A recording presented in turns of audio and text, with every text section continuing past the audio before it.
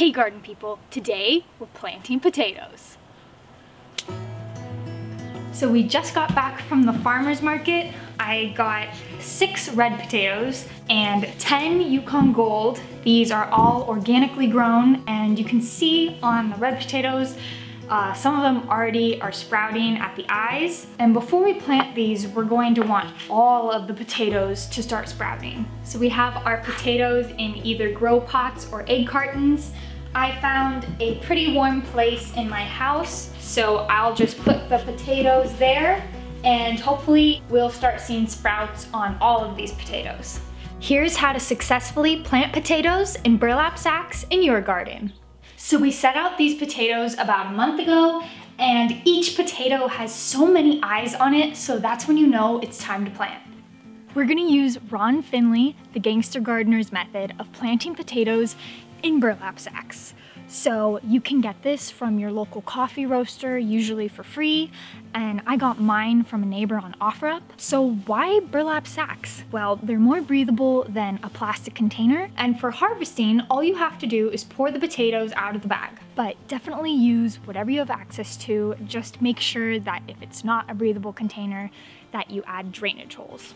For these bags, we're going to double them up for strength.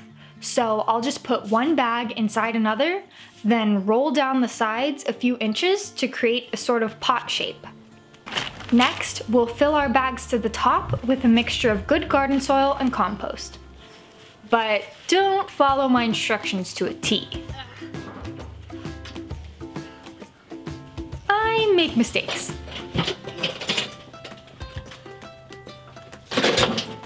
A lot of them. Don't so you'll want to fill your bags at the planting location with a mixture of good garden soil and compost. It'll save you some backache. So we have 16 potatoes here and each of them have a whole bunch of eyes. So we're just going to want to cut the potatoes so each piece has at least one eye on it. So each bag can hold up to six to eight potatoes. So we will plant them six inches deep, cut side down, eye side up, and just make sure to space them out so they have enough room to grow. Potatoes like a lot of sun, so find a spot in your garden that gets sun throughout the day, and now that the potatoes are planted, we'll give them a nice soak.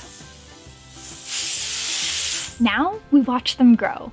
Water your potato plants whenever the top few inches of soil starts to dry out. These will grow for the next several months and produce beautiful purple or white flowers.